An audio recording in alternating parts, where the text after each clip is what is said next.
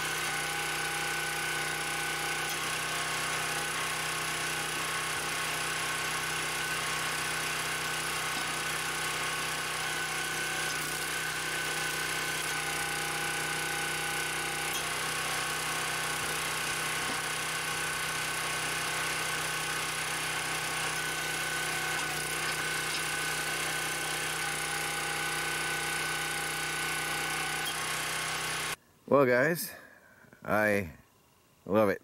What an awesome, awesome time. Well, please like this video. Subscribe if you haven't. Never know what tomorrow might bring on Homestead. Check out Michigan Prospectors, by the way. Cool videos over there. Rock collecting and prospecting, gold mining, copper mining, and more.